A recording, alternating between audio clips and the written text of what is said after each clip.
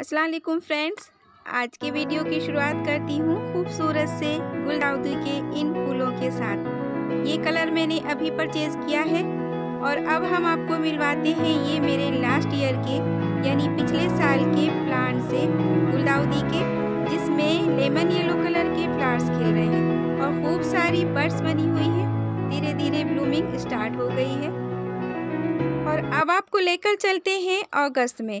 जब rainy season चल रहा था और मैंने काफ़ी सारी कटिंग्स इस प्लांट से लगाई थी और दो तीन जगह प्लांट्स रेडी किए हैं नए नए वो भी अभी दिखाती हूँ। अभी देखिए कटिंग कैसे लगाई जा सकती है।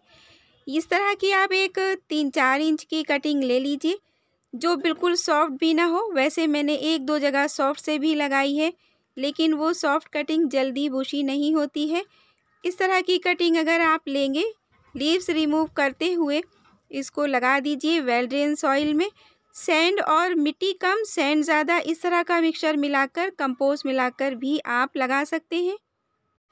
तो रेनी सीज़न में तो अच्छे से चल जाती हैं कटिंग्स, और कटिंग लगाने के बाद कुछ दिन आप सेमी शेड में रखिएगा, फिर उसको लाइट, सनलाइट में रख दीजिएगा। और बुशी बनाने के लिए आप इस पर पिंचिंग चालू कर दीजिएगा। थोड़ी थोड़ी कटिंग करेंगे। जितनी ज़्यादा आप प्रूनिंग करेंगे, उतनी ज़्यादा इसमें लीव्स आ जाएँगी और हर ब्रांच पर कलियाँ बनेंगी। तो ये कलियाँ नवंबर में बनना स्टार्ट हो जाती हैं। कुछ इससे भी हरी रहती हैं, ये तो बात की है। तो जब आपके प्लांट पर खूब सारी कलियाँ बन जाएँ, तब आप प्रून करना बंद कर दीजिएगा, क्योंकि उसके बावजूद जब भी आप प्रूनिंग करेंगे तो कलियाँ ही बनेंगी प्लांट्स ग्रोथ नहीं करेगा। आपको दिखाते हैं दूसरी जगह जो कटिंग लगाई थी, वो कैसी है।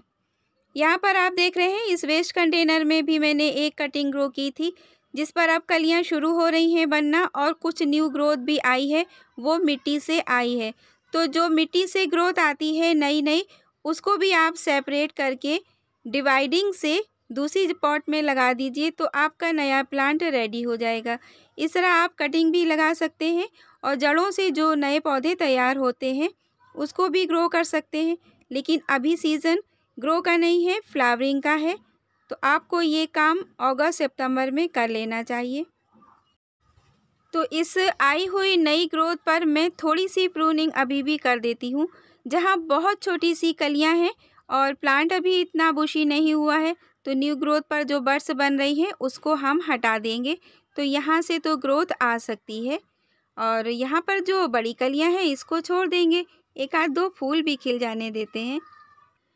तो लास्ट ईयर मैंने लिए थे दो प्लांट एक मैरून कलर लिया था और एक ये गोल्डन कलर लिया था, जिसमें से एक तो बच्चों की छेड़खानी की वजह से मैरून वाला ख़राब हो गया था। और अब ये देखिए, आप जो मैंने प्रून करके लगाया हुआ था, छोटी सी कलम, वो भी तैयार हो ही रही है। और अब चलते हैं अपने इस प्यारे से प्लांट के पास। ये देखिए, नए प्लांट्स तो तैयार हो चुके हैं और इसमें जो बर्ड्स बन चुकी हैं, अब धीरे धीरे खिलना शुरू हो रही हैं। कुछ इस टाइप से खिलती हैं, कुछ थोड़ी सी खुली हुई हैं, कुछ अभी खुल रही हैं, बहुत छोटी हैं। दिसंबर मंथ में तो इसकी ब्लूमिंग का टाइम है दिसंबर, जनवरी, फरवरी तक इसमें खूब सारे फूल खिलेंगे। बाद में भी खिलते रहते हैं थोड़े थोड़े तब हम डिस्कस करेंगे। अभी तो और चीज़ें शेयर करते हैं। इसकी कुछ केयर टिप्स भी शेयर करते हैं। समर में इस प्लांट को बचाना पड़ता है, नमी रखना पड़ती है। तो नमी रखने के लिए तो मिट्टी में ही आप कुछ ऐसी चीज़ें मिला दीजिए कि इसमें साल भर मिट्टी को नमी मिलती रहे। जब भी आप पानी दें तो ऐसी चीज़ें मिली हों, राइस, हस्क कोकोपीट या जो भी आप लीप मोल्ड मिलाते हैं, वो सब नमी बनाए रखते हैं। तो ये नमी बहुत ज़रूरी है। ये सूखे पत्ते ही इसमें अगर आप क्रश करके डालते रहेंगे तो ये भी काम आएँगे और प्लांट की क्लीनिंग भी हो जाती है। तो सूखे पत्तों से आप मल्चिंग करके समर में रखते हैं। इसके बाद जब इसमें पत्तियाँ सूख जाती हैं, पीली पड़कर गिरने लगती हैं, तब आपको उसकी पत्तियों को हटाते रहना चाहिए। ताकि वो मिट्टी से एक्स्ट्रा एनर्जी ना लें। और मिट्टी की लगातार गुड़ाई भी कीजिए। जब मिट्टी तैयार कीजिए तो उसमें अच्छे से खाद मिलाइए। वर्मी कंपोस्ट कंपोस्ट डालते ही रहिए तो इससे प्लांट अच्छे से ग्रोथ भी करता है और पूरे साल आराम से बच जाता है। और सर्दियों की शुरुआत से पहले कटिंग से तैयार कर लीजिए। मिट्टी गुड़ाई इस तरह से किनारे किनारे खोद दीजिए और इसमें आप खाद ऐड करते रहिए बार बार क्योंकि फूलों वाले पौधों को जो फ्लावरिंग करते हैं, उन्हें ज़्यादा एनर्जी चाहिए रहती है तो मिट्टी में आप कंपोस्ट डालते रहिए। और पौधा प्लांट करने के लिए जब आप मिट्टी तैयार कर रहे हो तो उसमें राख मिला कर रखिए। वो फंगीसाइड का भी काम करती है और फर्टिलाइज़र का भी काम करती है। पेस्ट अटैक से बचाती है, क्योंकि गुलदाउदी के प्लांट्स पर माहू वगैरह ज़्यादा लगती है, इस पर पेस्ट अटैक हो जाता है।